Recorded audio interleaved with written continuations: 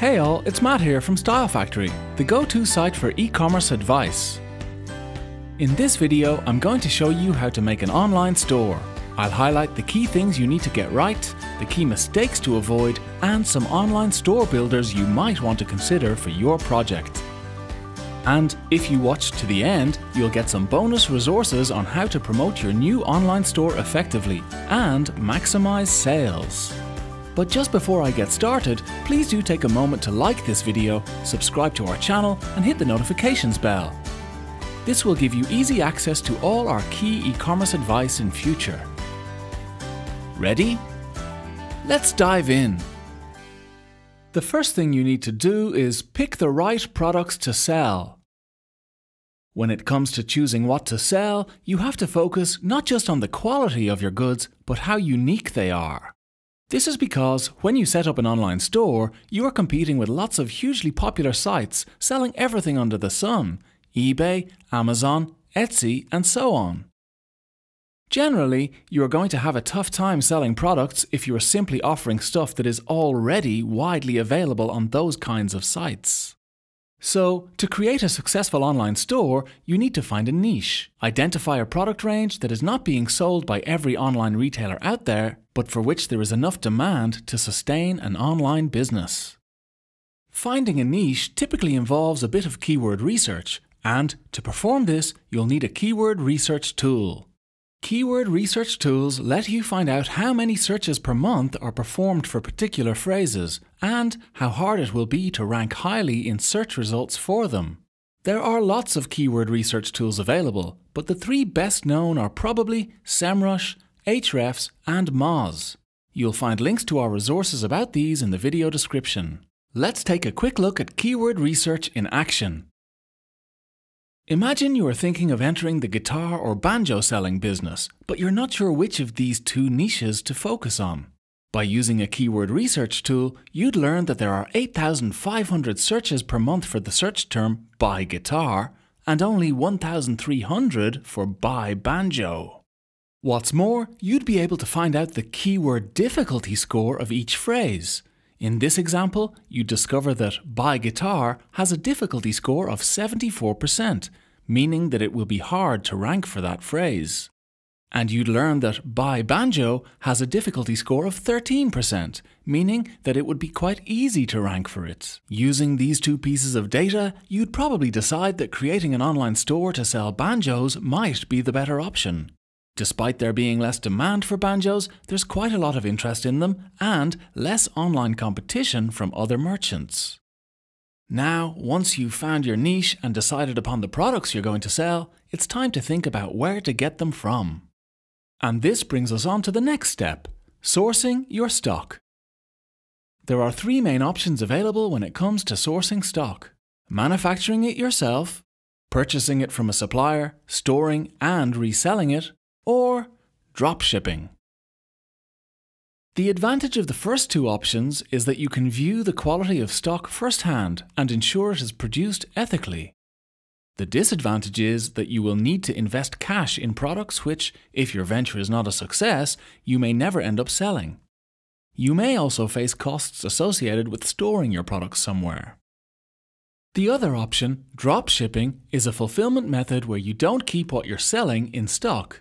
You take the order, send it to a supplier, and they deliver the goods to your client. Your store becomes, in effect, a middleman of sorts.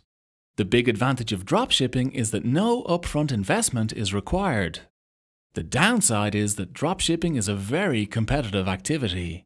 But whichever approach to sourcing your stock you ultimately decide on, you're going to need a tool to actually sell it with. So let's take a look now at choosing the right store builder. There are tons of online store builders available, and it can be hard to work out which one is right for you. So we suggest taking a really good look at our e-commerce platform buyer's guide. You'll find a link to this in the video description. However, I'll zoom in on a few key options here so that you can get a quick sense of which one might be a good fit for your business. You've probably heard of Shopify. This is probably the best known store builder currently on the market. It offers a really broad range of selling features and is particularly good for dropshipping and international selling. We also rate BigCommerce highly. This is another really good all rounder that provides a lot of bang for your buck. Like Shopify, it comes with some very strong multi currency features, so it's also a good option for selling your products internationally.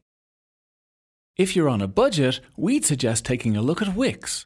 This lets you sell more cheaply than Shopify and BigCommerce, and it also comes with a comprehensive range of built in marketing tools that you won't find in many competing store builders. And finally, there's Squarespace.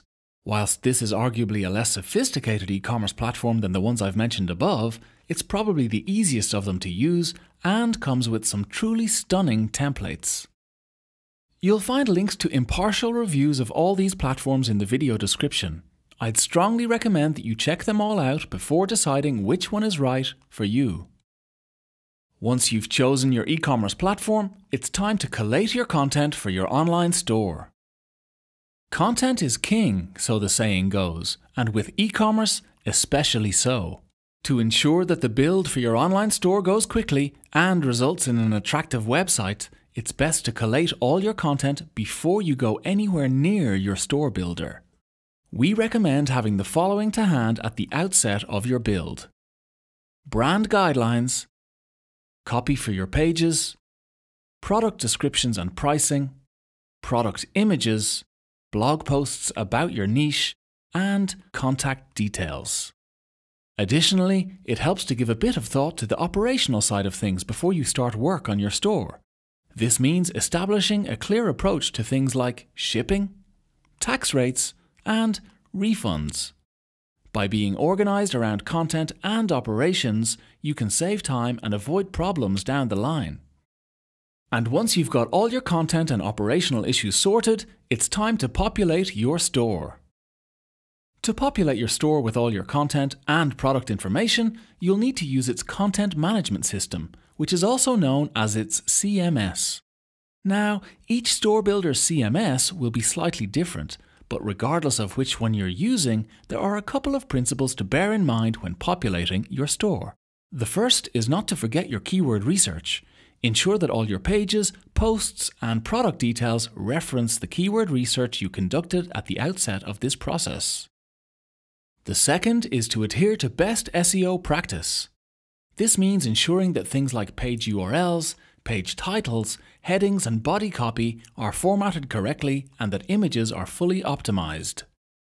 For a full guide to this process, I'd recommend checking out our video on increasing site visibility, You'll find a link for this in the video description. Once you've populated your store, it's time to launch it, and this is where a launch checklist comes in. A launch checklist is a series of tasks you need to run through to ensure that everything on your online store is working as it should. The exact nature of this checklist will depend on the type of platform you're using and the products you're selling. But typically, you will need to check that all product information is correct. Copy is free of spelling and grammatical errors. All hyperlinks are working. Payments are going through. Email notifications from your store are working. Shipping and tax rates are being correctly applied. Contact forms are working. Any necessary legal notices and refund policies are in place. Once you've run through this checklist, you can connect a custom domain to your store and launch it. But our e commerce journey doesn't end there because it's now time to promote your store. It's tempting to think that once your online store is live, you can simply sit back and watch the sales roll in. It's more complicated than that, however, and you're going to have quite a bit of work to do to make a success of your store. Here are a few things that you'll typically need to do to start attracting visitors and generating sales search engine optimization, online advertising, affiliate partnerships, blogging. Getting all these right can involve quite a learning curve, so you might want to consider working with some marketing professionals to get things off the ground. That said, it's entirely possible to take a successful DIY approach to promoting your store, and in the description for this video, you'll find some useful guides to promoting your store. Do check them all out. So that's it, our step by step guide on how to make an online store. I hope you found it useful. To get more e-commerce advice, please do subscribe to the Style Factory channel and click the notifications bell. And if you have any comments or queries, do leave them below. We read all of them and we'll do our best to help.